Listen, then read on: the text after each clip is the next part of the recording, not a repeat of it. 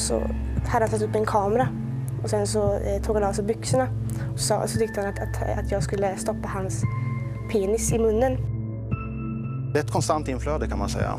Det är, det. det är väl pikar ibland när det kan bli extremt mycket. Vissa husrannsakningar kan generera väldigt, väldigt mycket material.